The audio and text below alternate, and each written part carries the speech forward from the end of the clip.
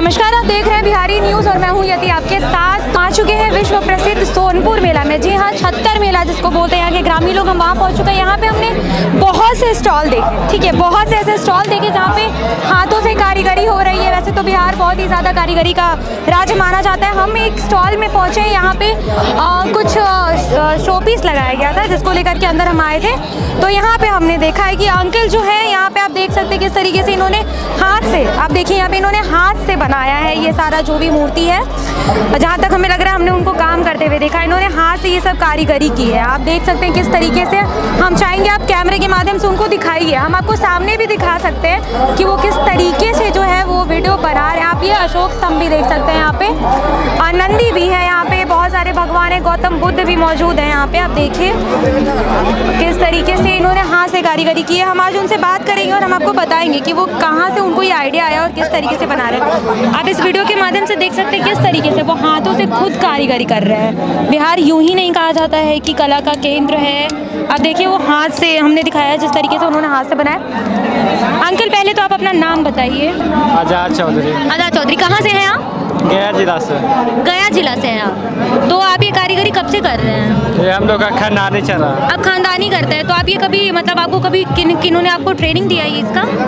या फिर आप बस देखते देखते सीख गए? देखते देखते सीख देखते देखते सीखे तो आप यहाँ पे कब से आए हुए हैं? यहाँ सात तारीख से आए। सात तारीख से आए हुए हैं आप। तो मतलब ये भारत सरकार द्वारा आपको वहाँ पे बुलाया गया या फिर आप खुद से यहाँ आए नहीं भारत सरकार के द्वारा भारत सरकार द्वारा बुलाया गया है। कला का आपको प्रदर्शन करने के लिए भारत सरकार द्वारा बुलाया गया है। हाँ। तो मतलब यहाँ पे लोग आ रहे हैं खरीदारी भी कर रहे होंगे।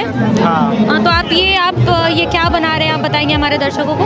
ये शिवलिंग बन रहा ये आप शिवलिंग बना रहे हैं। आप आपने ये हाथों से बनाया। आप देख सकते हैं किस बारीकी से जो है ये काम कर रहे हैं। आप देखिए हम अपने कैमरे के माध्यम से आपको दिखाने की पूरी कोशिश कर रहे हैं। अगर आप देख पा रहे होंगे तो पूरी क्लियरिटी के साथ इन्होंने हाथ से आप देखिए, ये बना हुआ शिवलिंग है और यहाँ पे ये अभी बना रहे हैं। ये जो है, ये प्रोसेस में आप देख सकते हैं किस तरीके से इन्होंने बनाया देखते हैं किस तरीके से जो इन्होंने हाथों से कारीगरी की है। हम आपको इसलिए ये वीडियो दिखा रहे हैं क्योंकि लोग बिहार को बहुत ही अलग नज़रिए से देखते हैं और लोगों को ऐसा लगता है कि बिहार में कुछ नहीं है। तो आप देख सकते हैं, मैं अपने साथी से कहूँगी कि वो एक बार इधर भी आए और दिखाएँ वो।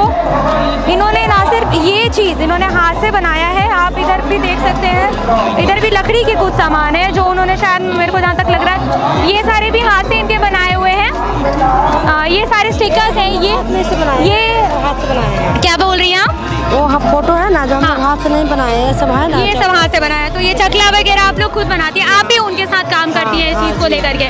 तो आप देख सकते हैं किस तरीके से जो है ये हाथ से कारीगरी हो रही है। ये भारत सरकार द्वारा इनको प्रदर्शन के लिए गया से बुलाया गया है। भारत सरकार आए दिन बहुत सारी कोशिश कर रही है। तमाम जो बिहार में जितनी भी कलाएँ हैं उसको दिखाने का पूरा कोशिश करती है भारत सरकार। और ये सोनपुर मेले में इस बार बिहार को काफ़ी ज़्यादा जो है आगे बढ़ावा प्रोत्साहन दिया गया है।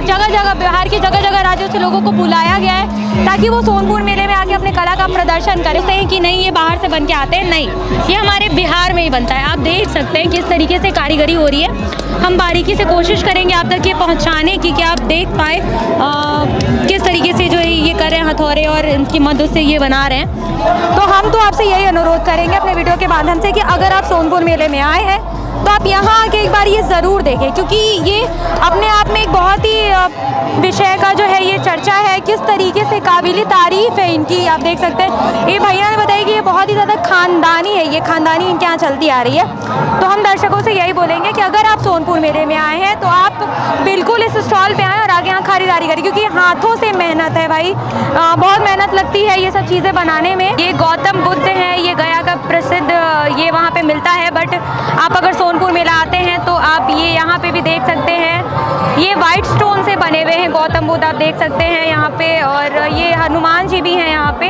मौजूद हैं यहाँ पे। बहुत सारे नंदी भी हैं, ये सब इन्होंने हाथ से बनाया है। तो हम अपने लोगों से यही जो भी हमारे दर्शक हैं, जो भी ये वीडियो देखेंगे, हम उनसे कहेंगे, जब सात दिसंबर तक ये मेला भी यहाँ रहने वाला है। जब तक आप हैं, ये लोग वहाँ यहाँ पे मौजूद हैं।